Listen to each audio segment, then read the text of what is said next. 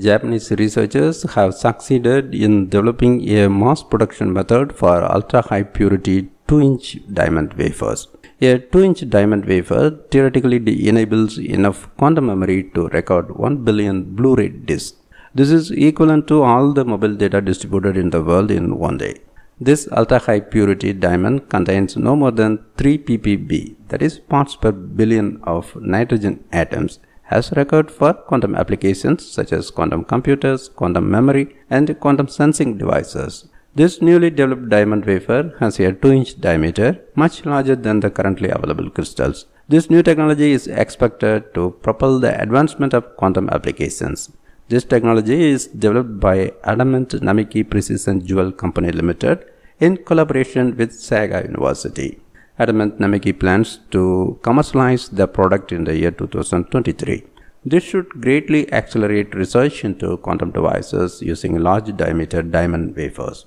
A conventional computer calculates using two digits 0 and 1. By contrast, a quantum computer would utilize the principles of quantum mechanics. A quantum computer would dramatically shorten calculation time compared to a conventional computer, allowing major breakthroughs in many fields. A diamond crystal defect called the NV center shows high performance for quantum memory in principle.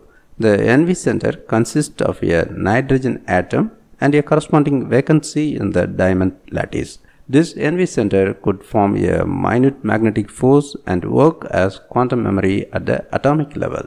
In addition to diamond, it is possible to achieve electron spin in other materials as well but the direction of their spin cannot be stabilized at room temperature. Apparently, only diamond can achieve electron spin at room temperature that is reliable enough for industrial applications such as in magnetic sensors with both high space resonance and high sensitivity, quantum computing, and biomarker sensors. For applications that require high resolution and high sensitivity, a diamond crystal with few impurities is necessary, such as the 2 inch diamond that has just been developed by Adamant Namiki.